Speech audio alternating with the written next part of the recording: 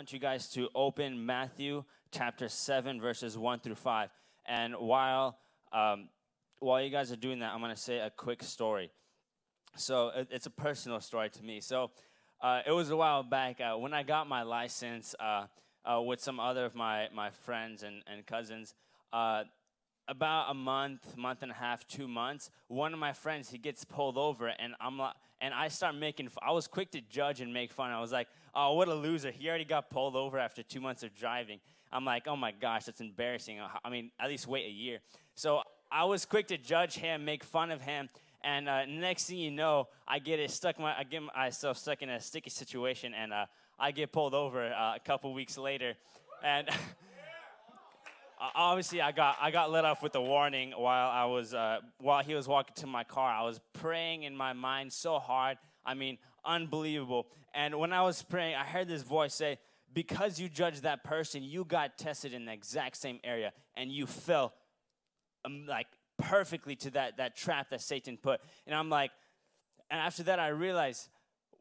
I need to stop judging people. I need to stop making fun of people because what I did that's going to keep on happening. It's like when you throw a boomerang. Whenever you throw a boomerang, it comes back to you. And that's what happened. When I threw out that judgment, when I made fun of that person, the exact same thing came back and tested me, and I fell into the trap. It's weird. Whenever I threw boomerangs, they never come back to me. it's like whenever I throw, it doesn't come back, or I throw and it does something and breaks something. I don't know. Okay, so Matthew chapter uh, 7, verse 1 through 5. Do not judge others, and you will not be judged, for you will be treated as you treat others. The standard you use in judging is a standard by which you will be judged. And why are you worried about a speck in your friend's eye when you have a log in your own? How can you think of saying to your friend, Let me help you get rid of that speck in your eye when you can't see past the log in your own eye? Hypocrite, First, get rid of the log in your own eye. Then you will see well enough to deal with the speck in your friend's eye. And as our uh, amazing, faithful friend Edwin over here comes out with a two by six and a, a splinter, I, I think, I don't think, I know our God, He's a funny God because in this story, as you can tell, over dramatic.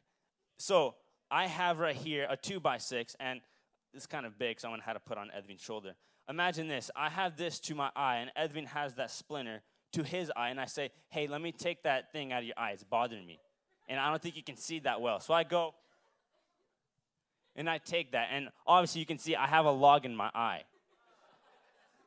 Our God's a funny God, yeah? Thank you.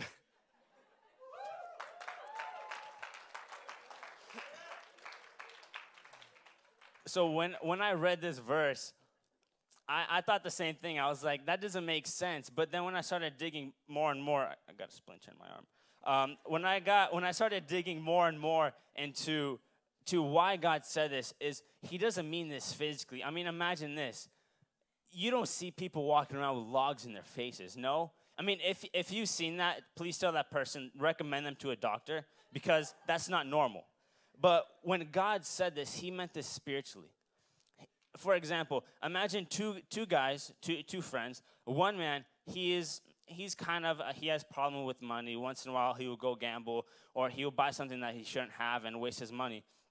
And another guy, he's strongly addicted in gambling and he wastes his money. He just bought an expensive car that he can't afford on a loan.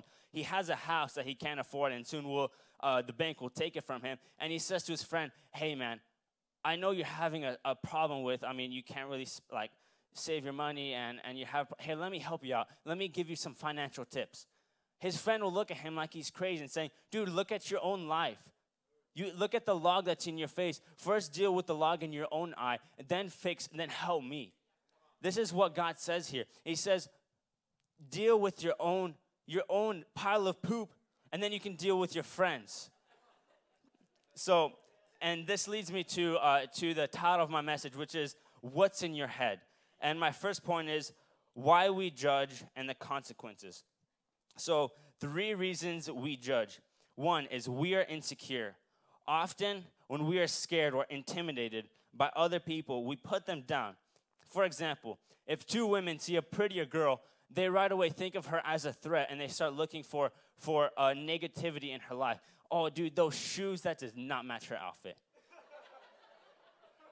her hair does not look right. Her eyebrows, she forgot to pluck that one hair, and the whole world can see that. You start looking for, for weak points in that person. No one's perfect. God created that person the way that they are. Uh, point number two, we, or, or uh, number two, we are seeking change. When we want our own lives to be different, we are quickly to judge the life of others. For example, if someone wants to have a strong, healthy relationship, have and, and get married, and they see that their friend just got engaged and they live an amazing life, God's on their side, God is just blessing their life.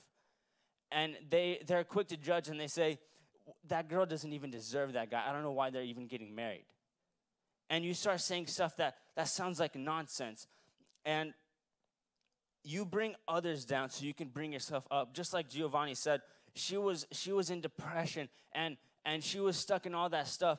And when, when you're in that position, when people are in that position, the, the most common thing to do is if you want to bring yourself up, people, the, the closest thing that you can do to make that thing go quick is you judge people. Because when you judge other people, when you're at your lows, you bring them down so you can bring yourself up. And when you do that, that starts causing an unhealthy life, unhealthy habits. My point number two why does, what does it do? So, three things judgment do to us and others hurt other people. This might not always happen. If the person finds out, are you in the clear, right? Not necessarily because sometimes that thing has a curveball and when you when it goes and you're like, "Oh, it's going to miss that person," but then it curves and it could hurt them in weird ways. For example, so and this is kind of a little bit off of judgment, but whenever I do something when I was a kid, I would always lie to my mom and dad. Always. And I know a lot of us were in the same spot where our parents always find out. Even if you Googled that, you YouTube that, and the people said it's the best lie you could tell your parents, my parents would always find out. And even if they didn't see me do anything, uh, one of my cousins or my mom's friends or dad's friends, they would see me and they'd be like, hey, I saw your kid doing this yesterday. Do, are you aware of this? And things like that happen. And you are put on the spot and then you are, you are hurt. Number two, uh, judge by actions. We often judge other people by their action and judge ourselves by our intentions. For example, when I judge my friend, I judge him by his action. Because he got pulled over, I judge him because he got pulled over.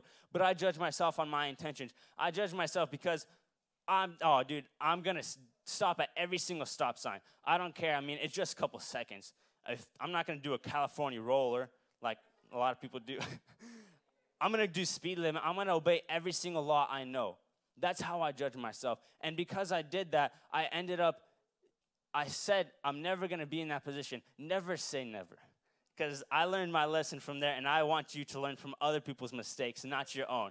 My parents would always tell me that learn from other people's mistakes, not your own. And in this case, I disobeyed my parents and I went out. I said, I'm never gonna do this. And next thing you know, that never became uh, permanent. Point number three how to stop judging. Monitor your thoughts. You can monitor the thoughts you, that come through your mind. For example, an airport, they have security. They don't let a person with a bomb come through because most likely their intentions are to hurt people. They know what's right and what's wrong. The people that are the wrong, the people that are right, they let the people that are right go through, and they let the people that are wrong they don't let them through. They either arrest them. So you have to do that with your mind. You have to have a security. You are the security in your mind. You have to stop the things that are destroying you, that, that could destroy others. You say, stop right there. You are not going through. This is my mind. I own this, not you. You don't pay rent here. I, I, my parents, I, I sacrificed for this, and you cannot come in here because this is mine. I didn't let you in here. Only the good thoughts can go through. You take the bad thoughts, you arrest it, you say, No, you are not going through, and you let the good thoughts go through. Amen? Look for the positive. There's always something positive you can find about someone. Even if they're the worst person ever, still, don't treat them like crap. They're God's creation. God created that person. God didn't create that person say, oh man, I messed up. He didn't do that. He created that person just the way they are. He loved that person just the way they are. It doesn't matter if if one leg is shorter than the other. It doesn't matter if if something happened to them and it was just completely devastating, God created them just the way they are. You don't treat people like they're crap. Just like Pablo said, when they fix people, when they in, in China, when they fix place, they fix it with gold. God, He is there. He is fixing people. You don't have to worry about it. Focus on your own life. When all else fails and judging, like pushing away judgment, is the hardest thing to do. Focus on yourself and don't worry about what other people are doing, wearing, or etc. You have to, if you are, if you this log is you're turning your head and you're hitting every single person you possibly can. People are starting to get mad at you. People are starting to get pissed off. Hey, deal with your own problems. Do it. Stop worrying about other people's stuff because you here have a log in your own eye and you're judging other people because they have one too, but smaller. They have a splinter in their eye, you have a log in yours. Deal with your own stuff and then and then you can help other people. Exchange the time you judge people to something that can uplift your life. Instead of over here judging someone, exchange that time to doing something that could bring you up spiritually or physically, it doesn't matter, or even financially. Read the Bible, pray, um, learn something. If you're into instruments or if you're into sports and you're like, I already know everything that I could about that, start going into technology. There's so much more things. There's never enough things to learn about in this world. There will always be new things coming up. Exchange that thing that you do that's wrong, that's negative, to something that's positive. Start, start uh, like learning stuff about real estate. Start learning stuff about money, saving money, and actually start saving money. Don't go out and spend it every single Wednesday on Applebee's after church. And I'm uh, also part of that, sadly. so, some practical steps, and if we can have some of the worst team go up really quick. Um, some practical advice for you to for, to help you to stop doing this, to start working on yourself, to get rid of that log. Just, it's the simplest things. You can do your homework, clean your room, help your parents, obey your parents. For us teenagers, that's the hardest thing to do is obey our parents. Because we're like, they don't know anything about, about the new trend, about ripped jeans. these ones are patched, so we're good. They don't know anything about the new trend, new clothes. They want me to wear these grandma shoes, and I'm over, and like, and people over here wearing like uh, Yeezys and, and expensive shoes that are, the value of them are uh, growing like crazy. It doesn't make sense. And you obey your parents because they, they have the bigger picture. You're just looking at a small thing, but they see the whole picture. And that's why they do the things that they do, is to save your life, to help you out. Amen? So, what are your thoughts? Do you have negative thoughts? Do you have thoughts that where you judge people, where you make fun of people, where you talk crap about other people just to lift yourself up? Or do you have thoughts where, you know what, I'm gonna deal with this stuff on private? People don't need to see this. People don't need to see the problems that I have, and I'm gonna tweet it all over uh, Twitter or Instagram or anything like that.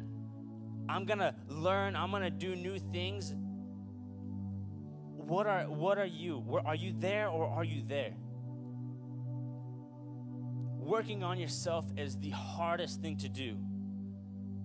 That's why the majority of people don't do it. But the people that don't that do do it, they reap the best things that they could. They reap physically, they reap they have money, they know how to use that money. They have so much things, they have knowledge. So, just realizing that you have a problem, you're already halfway at the finish line. The rest, even if well, it's hard, even though even if it's easy, just realizing you have a problem, you're already halfway to the finish line. What's in your head? What are the thoughts that go into your head? What is in your head? So I want you guys to think when you go home, when you're before you go to sleep, just just pause